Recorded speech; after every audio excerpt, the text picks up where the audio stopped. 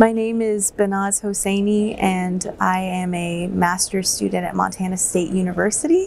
I'm really enjoying it, meeting a lot of new people, which is great, seeing a lot of old faces. Um, yeah, great opportunity.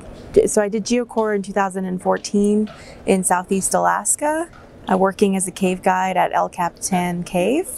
And uh, since 2017, I have worked uh, as a geoscientist in the park in Yellowstone National Park um, with the geology program there.